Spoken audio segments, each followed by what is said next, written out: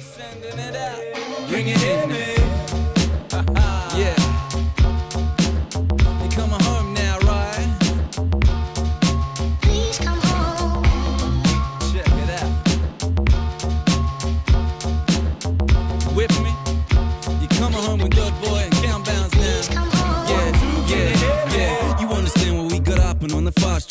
Express, to underline the last name. It seems we're behind we don't wanna start late. This adrenaline is meddling with the heart rate. Some of the list, well, it's can't wait. Can't Hey guys, welcome to another instalment of ATH Coaching.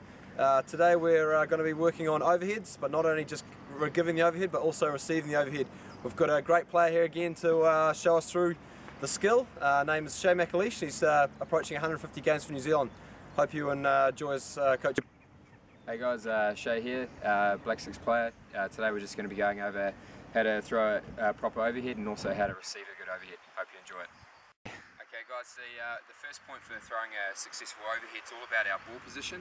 Uh, too many times uh, when, when players are trying to throw an overhead they get really close to the ball which means that when you're coming through your arms are too straight so you don't actually get the power and probably the distance that you really want to get out of your overhead. So you need to have a good distance away from your feet. So you're kind of getting into a into a push position. So if I'm here, okay, I'm in that pushing uh, pushing position here. Ball's right at the front of my toe, okay, and then from there all I do is just rock my right hand back, try to sit it in the crest of my elbow, so then my stick's on the on the angle that it needs to be. Okay, the other couple of points for uh, throwing a successful overhead are uh, if I if I'm leaning back too far, so my shoulder, my, my right shoulder's dropped too far out, I'm going to get too far under the ball and the ball's going to fall off the back of my stick. So a couple of really good coaching points to see when you're doing it yourself. If the ball's uh, spinning backwards, okay, when you're throwing it, it means that you've either leaned too far back or your stick's in a really bad angle. So you want the ball to be able to spin forwards and then you know you've kind of picked the ball up really, really well as you're trying to throw the ball forward. Okay, so what I mean by shoulder angle, so here is I'm just trying to dip this out a little bit and then as soon as I get into a position where I feel comfortable throw the overhead, I really try to drive myself forward and bring my right leg through the ball. Okay guys, yeah, just a couple of uh, more points. The, the last point really is, is the, uh, uh, the release of our stick. Okay, so from here, I've rocked back to here and I want my, again, my hand to sit in the crest of my elbow, but as I'm uh, trying to release the ball, I slightly push my left hand forward again, and then I, I bring it back to my elbow again. So there's kind of a pushing pull motion, okay, and that whole time the ball will actually be on the stick. So the ball's on the stick, it kind of looks like this. It's here off the ground, and then as I do that little last flicking motion, the ball's actually gone off the stick. Okay. The other thing is, is that we really want to have a good trajectory about our overhead. So, like I'm only this high, there's not too many guys that are too tall. So the overhead doesn't have to be that high, especially for an attacking overhead where you're trying to pass it to your teammate. If you're just trying to clear uh, clear position from deep in the corner where you're getting pressed, it can be as high as you like because that's just buying yourself time. Can't shake the shit. Through it all, we still partaking it. Facing it like we haven't lost faith in it. Of course, you got stakes in it. It's not a matter of you wasting it. Like Black Crude in Kuwait in it. Cat o' nine tails, rat racing it. Spend all our days in it, raising it. Cut to the paper. Okay, uh, guys, last, last point. Obviously, you can't uh, flick a stationary ball, it's got to be at some point moving. Okay, the hardest one is to actually do an overhead on the run.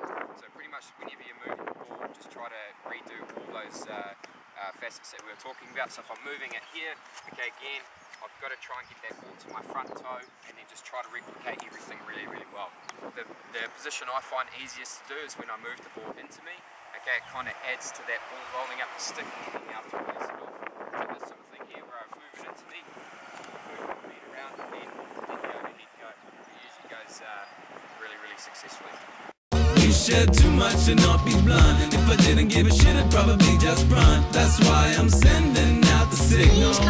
One, two, can you hear me? Yes, indeed, we need to plant seeds. That might mean to leave, cause life is light speed. Get it all together, got the eyes and cross the T's. I'm not got the key. No philosophies like Socrates. It hasn't always been a perfect fit, but it ain't a contract either party need to rip up. Don't want no mix up. You could get a lift up, nobody decapitated, others over hiccups.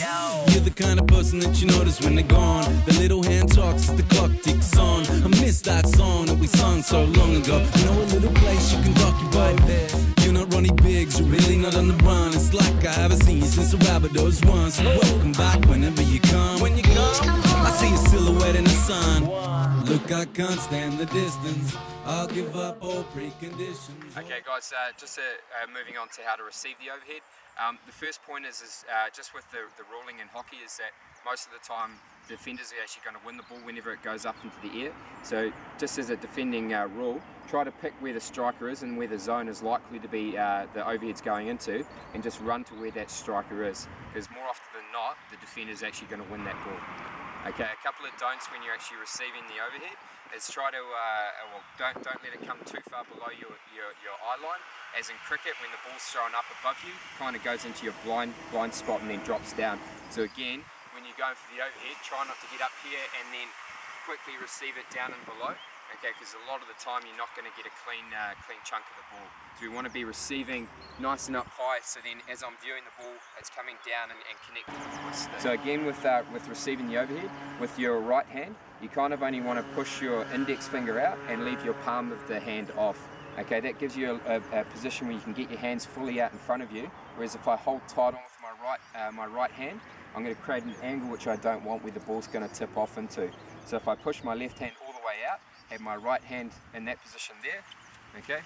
Then that's a that's a spot where you can actually have a little bit of give with the ball. So as I'm as I'm viewing it to come down, I can bring it down. It's slightly in line with my body, my right shoulder. So I'm not trying to receive it too far out here, because again, if I'm looking at it like that and I go straight down onto my stick, there's kind of a blind spot where I can miss the ball. You especially don't want to do that as a defender. Okay guys, here's a couple of demos of uh, how to receive a successful overhead. Conditions all will be forgiven, and if you please come home, I'm sending out the signal. We share too much and I'll be blind, and if I didn't give a shit, I'd probably just run. That's why I'm sending out the signal. One, two, can you hear me? We've shared too much and I'll be blind, and if I didn't give a shit, I'd probably just run. That's why I'm sending out the signal. One, two, can you hear me?